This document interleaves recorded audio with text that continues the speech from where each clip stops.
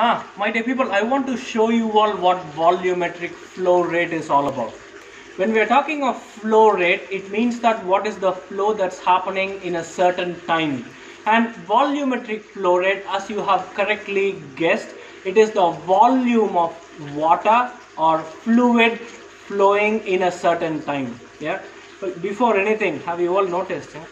I need a haircut as well. I have no idea how many of you managed to get one hopefully hopefully i'll be able to get one soon yeah.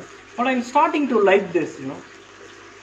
Okay anyway what i'm going to do is my dear people i'm going to measure some, the volume of water that's flowing and i'm going to see what is the time it takes yeah.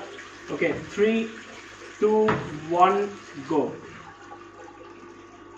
I do not really mind what is the time or something just measuring it randomly. Okay? Three two one. So if you come closer it says that the volume of water that we have collected is 1780 1780 in 13 seconds. That is what we have done.